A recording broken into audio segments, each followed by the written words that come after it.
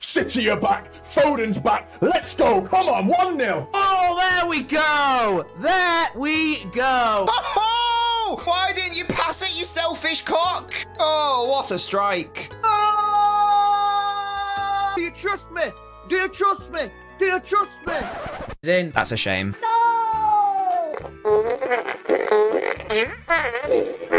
20 seconds into the second half, and Sporting are ahead. Right, why does the cameraman keep going to the manager? Oh, they're in on goal. They're in on goal. 2 1. 20 seconds. 20 seconds. 20 seconds. 20 seconds. 20 seconds. 20 seconds. 20 seconds. That's a penalty. What are you doing, mate? 3 1. Shite City. Penalty? How was that a penalty? Gvardiol, what are you playing at? What is happening?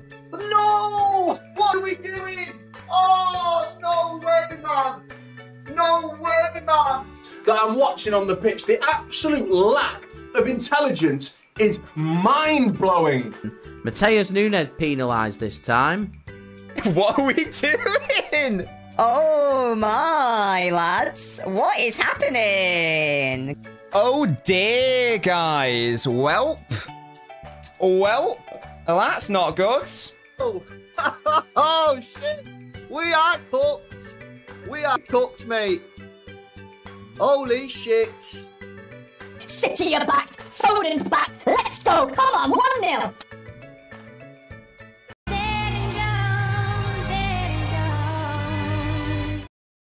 Ah, welcome back to the fan channel review. My my favorite bit was uh, Nobbins. Nobbins. What, why don't they keep going to the manager? They always go to the manager when the team scores. It's not just because Amorim's now the Man United boss. They always do it. But look, it was a beat down for Man City last night. An amazing evening for Sporting, for Liverpool. A horrible one for Real Madrid as well. We're going to go through some of the best fan content from last night, give you my opinions. I want yours in the comment section below, though. Hit the like button now. Make sure you are subscribing. I saw this here. I think it's on the City Ramble. I saw this last night. I haven't listened to it yet. I wanted to save it for you. Let's see what my guy said. He was out there at the game. Let's take a listen. Well, that was pretty terrible, wasn't it? Sporting 4, City 1, despite taking the lead, City in the second half, absolutely abject. Something stinks. Something really stinks. I kind of like that honesty. I really do like that honesty. Uh, you know, we we we we we've had a few City fans that have come on the terrace. Hamza, V. It takes a lot of pushing and a lot of probing for them to be honest about City's situation that something isn't right with how they're playing football.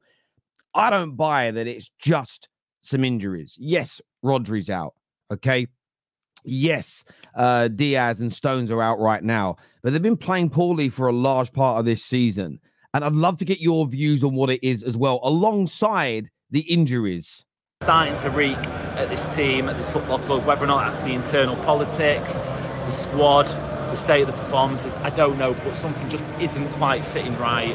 And you can tell that on the players, they're not you don't feel like they necessarily want to play for each other, and that's something that you would never have said about Pep Guardiola team. Is it fixable? Of course it is. Pep Guardiola's manager, and as long as he is in charge, you'd back him to find a solution. But you have to start asking questions about the state of the squad because the midfield. Uh, the state of the squad is such a big, a big component here, and I think that this is what what City are going through. Yes, there's injuries, and I understand that, but they're going through a bit of a crisis because the players are losing belief. And I don't know how many times I've said this, and I'll I'll, I'll die on this hill. So much of sport, so much of success, so much of consistency is mentality. Of course, you've got to have the ability, you've got to have the great coaching, the facilities, the infrastructure. However, if the belief isn't there, again, you can still fail to kind of get over the line. And I think that there's a lot of players in this City squad who are just not quite good enough. The recruitment the sort of backups and alternatives to Rodri, the replacements for your Riyad Mahrez's and your Raheem Sterling's haven't been good enough. So when KDB and Haaland are not scoring the goals, who genuinely, who else is there? Foden's having an off season. I know he scored last night. And I think all of these things are making an impact. I don't think it's just Rodri being out, but I'd love your thoughts and I'd love your feelings on it in the comment section below. Coming. Man City in crisis. But are they in a crisis? They've lost their last three games in a row. They've got big games in the Premier League coming up against Brighton, Spurs, and Liverpool. They're vulnerable. Bernardo Silva says it's a dark place. And Pep Guardiola himself acknowledges they're in a difficult time. But is it really just that standard Man City autumn wobble? And back in May or next in May, we will see Man City's dominance again. It's Listen, they could certainly still win the league from this point because they're two points off the top. They can turn this around. The January window is around the corner, but they are definitely in a crisis right now. And I've always been someone that I've never just said out outright they'll win it. Nobody else has a chance. I've never liked that narrative, but this does feel different this year. They've lost three games on the bounce. They struggled in their previous two or three games before that. I think it's clear the players themselves are talking about how kind of dark it is in the dressing room right now. I certainly think it isn't over the top to state that they are in a crisis. It's an interesting one because I think there is something very different about this one. Get your comments in below.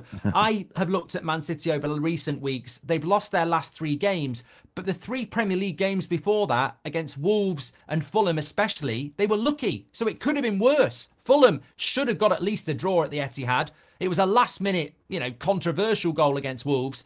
And Southampton, they only beat 1 0. So in some ways, nine points from 12 in the last 12 points available for Man City is probably better than they should have got. So, in some ways, you could look at it and go, well, we've seen this with Man City before. They have a little bit of a wobble. They've not dropped enough points, um, and they'll be fine. And I think Pep said it himself. They're still in all competitions. They've got to fight through it.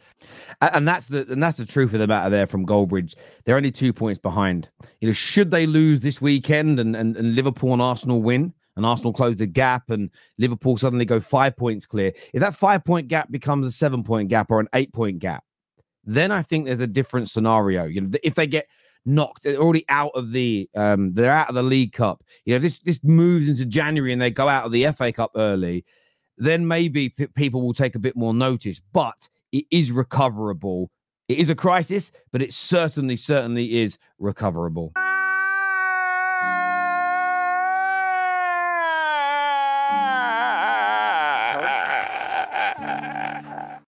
Like I like I was saying, we were very lucky today in the games. The feeling with my players, the way they they celebrate this this win, the moment with the fans.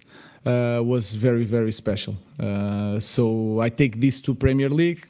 When I arrive there, is a different world, a different pressure. I, I will try to be the same. Will be fun, very fun, and I'm ready for the for the challenge. Wow. So that was him speaking in English at last and tells us that he's ready for Wow, I, I, him speaking in English at last. I mean, the the digs that are already coming in at Amorim are a madness, an absolute madness. And Man United fans, I know he's got to perform for us. I know he's got to improve us for us to stay on side. But please, I believe you may not believe what I believe, so that's fair. But we've got the structure in place. We've got the coach coming in. We're going to rebuild this squad. It's going to take a few years. Please stand behind him because the media are going to do whatever they can to cut the legs off this. And as supporters, I think we really do need to support. So, what kind of challenge, Danny? I mean, when it comes to expectation, was this the best or the worst thing that could have happened for Amorim? I think for most educated football watchers, they understand that that result means nothing really.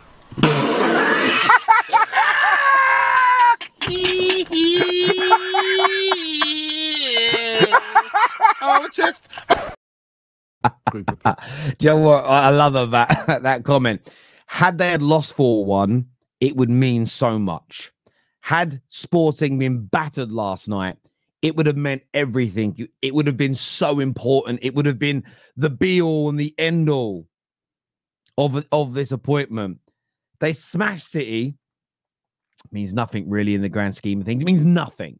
I don't think it means everything. We know we're not going to play like this straight away right? We know we're not going to be that good, as good as Sporting are on, you know, th- their level in the league straight away. But the idea that what he's done in Portugal, the results that he's had last night's win, that it means zero. It means nothing. You've got to remember the words here: zero. The hatred is mad. Players, Um, the the the Premier League's completely different than European games. There's loads of factors. City had half a team missing. They didn't have half a team missing. This this narrative that City got half a squad out. Yeah, they had Ake on the bench, they had KDB on the bench. They've got Stones out, Dias out, and you've got uh, Rodri out as an example, Grealish. But look, Grealish doesn't score or assist goals anyway. He hasn't scored since December. How big a miss is that in, in the, the grand scheme of things? They have got loads of replacements for Rodri, but they just are not finding the right combination, as it were. They've got some injuries, three or four players out, but that's pretty much not. Man United have got three or four players out. Arsenal have had three or four players out. The way City get defended is crazy. You know, it's it's a great win, and it's his, his sporting team over the last two years, three years has evolved and become a really good watch. So that's that's encouraging, and he and he's warm and charismatic. He's got a bit about him. He's likable, isn't he? Yeah, I think so. Anyway, so Yeah, I'm yeah. sure he'll I'm sure he'll improve Man United. Well, be hard not to. I think you'd improve Man United. Blah, blah, blah, blah, blah, blah, blah. And it's a goal. This here is the compilation someone sent me of Man United fans celebrating uh, goals last night. Let's take a little look. Goal Sporting. Goal Gyökeres. he's in. He's in. He's in. He's in. He's in. He's in. Katie, you're in. He's scored. Shut up. Katie. Shut Katie, you are. Shut up. Shut us. Gyökeres! Goal, goal, goal, goal, goal, goal, goal! Absolutely fantastic start by Sporting. What are you talking about now? Sporting take the lead. It's 2 1. Yeah, player hater, hater, hater, yo! Oi, bring this Get excited. football. Bring this football. What?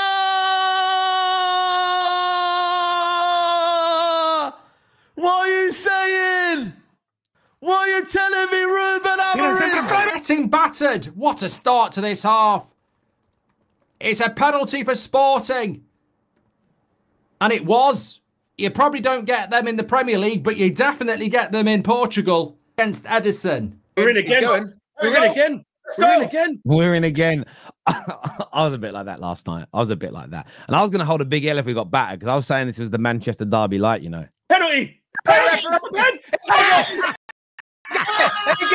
oh my God! It's all going off. It's all going off. Man United fans will get cooked for this. It's not your team. Why you're celebrating? Trust me, this is our best night in the Champions League in about 11 years.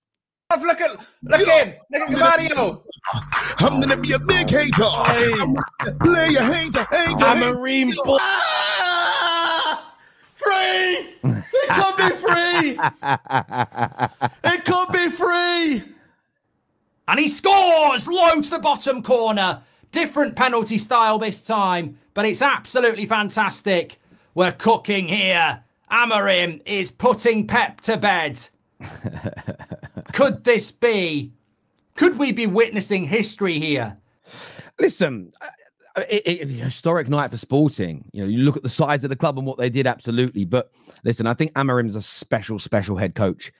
As long as he has the right structure, gets the right back in, and that doesn't just mean the money being spent. It means sometimes being told no. It, means ensuring that toxic players are removed, not even for his personal benefit, the club's benefit. This is all so, so important. As long as football is put above commercial decisions, these are all things that we have not done properly in the last 11 years. And as long as we get that right, this could be an historic appointment. Look, viewers, as ever, hit the like button and make sure you're subscribing. 3:30, we're back with straight facts. Until then, take care, goodbye, God bless, and we'll see you soon. Peace.